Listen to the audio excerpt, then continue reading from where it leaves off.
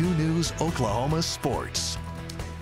Welcome into sports, everybody. We don't know for certain they'll play, but Tiger Woods and Phil Mickelson have both taken that first step to competing in next month's PGA Championship at Southern Hills. Both players on the current field list released by the PGA Championship today. Final list coming May the 9th. Things could change. Tiger, who won the 2007 PGA here in Tulsa, played the Masters, says he's going to play the Open Championship at St. Andrews later this year, but has not fully committed to Tulsa yet. Mickelson, defending champ in this event, Hasn't played since January when he made those controversial statements backing a Saudi funded golf league rivaling the PGA. What are you doing, Phil? Round one now 24 days away. Tonight at 6, it was part two of our series on the major championship history of Southern Hills. No easy ones on this course.